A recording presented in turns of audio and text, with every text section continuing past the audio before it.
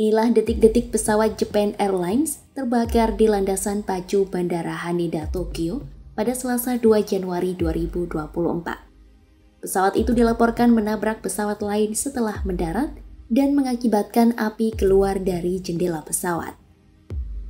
Pesawat terlihat bergerak dengan cepat di landasan pacu sebelum ledakan api muncul dari bawahnya.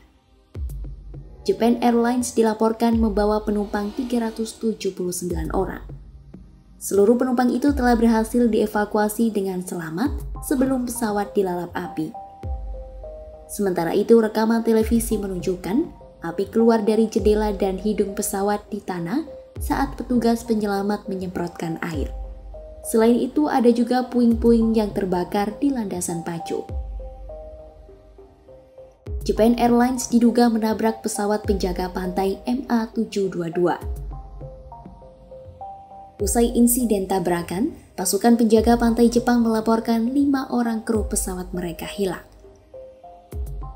Pilot pesawat penjaga pantai telah dievakuasi, sementara lima awak lainnya belum ditemukan dan belum diketahui kondisinya.